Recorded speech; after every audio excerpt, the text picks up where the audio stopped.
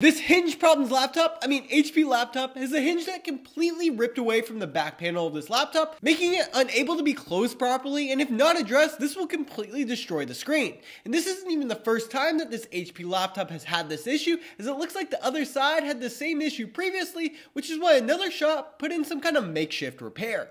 So to go ahead and get this fixed, we're going to go ahead and need to go ahead and swap out the back panel by first removing the bottom cover off the laptop, and then unplugging and getting the battery removed, followed by the cooling system, SSD, and all the small connectors inside of the laptop that connect to the motherboard, and finally getting that system board out of the way. Now with that complete, the hinges then can be unscrewed, and we can separate the screen assembly from the laptop's body. And guess what? By doing this, the hinge just fell right off, showing exactly what happened. And see, these hinges for these HP laptops often mount using a plastic holder that's adhered to the metal body. As a result, when the adhesive fails, there's nothing holding the hinge to the screen assembly.